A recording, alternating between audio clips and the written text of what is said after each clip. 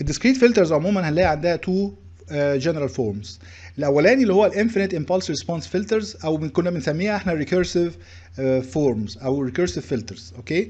آه، ده basically في ال transfer function بتبقى في ال format دي. H of z بتساوي B of z على A of z okay؟ عبارة عن polynomial of z فوق على polynomial of z تحت. okay؟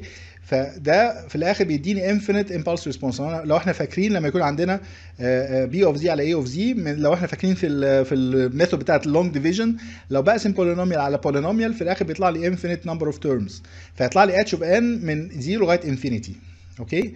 فطبعا هي آه، الأساس بتاعها إن إحنا بنسميها infinite impulse response لأن h of n بيبقى لها infinite extent okay ف basically طالما لها infinite extent يبقى يبقى هي infinite impulse response okay يعني h of n بتاعتها لها infinite length okay فطبعا إحنا الكلام ده بيبقى جاي لنا أساسا كحل ل difference equation بالشكل ده كده لو إحنا فاكرين. ده اللي كان بيقول لنا إن إحنا عندنا y of n function في ال previous values of y عشان كده كنا بنقول عليها إنها recursive function okay plus طبعا الايه ال present and previous values of إيه of x of n.